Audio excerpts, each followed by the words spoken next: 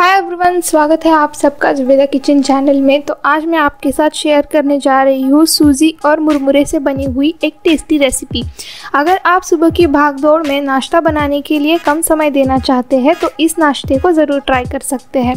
तो चलिए हम आज की रेसिपी को स्टार्ट करते हैं।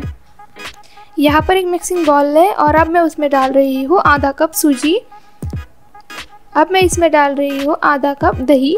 दही जो है वो खट्टा नहीं होना चाहिए। अब इसमें थोड़ा थोड़ा पानी डालकर हम इसे अच्छे से मिक्स कर लेंगे।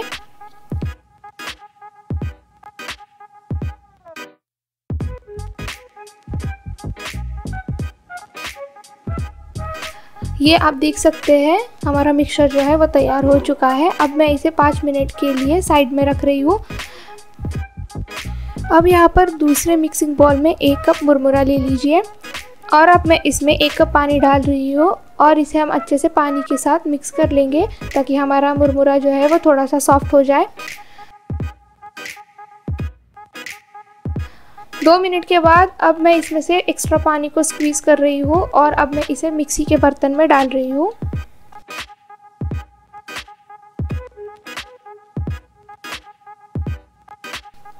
साथ ही में इसमें सूजी और दही वाला मिक्सचर भी डाल दीजिए और अब हम इसे थोड़ा सा पानी डालकर फाइन पीस लेंगे। अब इसे मिक्सी के बर्तन में से एक मिक्सिंग बॉल में निकाल लीजिए अब मैं इसमें डाल रही हूँ बारीक कटा हुआ करी पत्ता, बारीक कटा हुआ धनिया पत्ता, बारीक कटा हुआ गाजर, बारीक कटा हुआ प्याज, बारीक कटी हुई हरी मिर्च, स्वाद अनुसार नमक। अब इसे धीरे धीरे कर कर अच्छे से मिला लीजिए। इसका एक स्मूथ बैटर हमें बनाना है। हमारा बैटर जो है वो अब तैयार हो चुका है। इस बैटर से आप जब भी कोई रेसिपी बनाएँगे, उसके पहले इसमें एक चम्मच फ्रूट सॉल्ट डाल दीजिए। अब इस फ्रूट सॉल्ट के ऊपर मैं थोड़ा सा पानी डाल रही हूँ और अब इसे मैं बैटर के साथ अच्छे से मिला रही हूँ, ताकि फ्रूट सॉल्ट जो है वो अच्छे से एक्टिवेट हो जाए। हाँ आप देख सकते हैं हमारा बैटर जो है वो अच्छे से स्मूथ हो चुका है। अब मैं इससे अपम बना रही हूँ।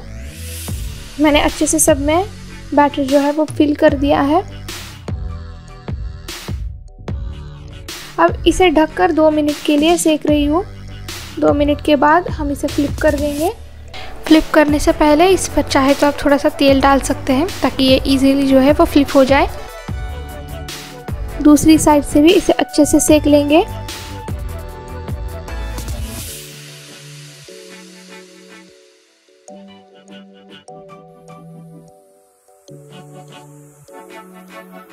तो हमारे अपम जो है वो तैयार हो चुके हैं।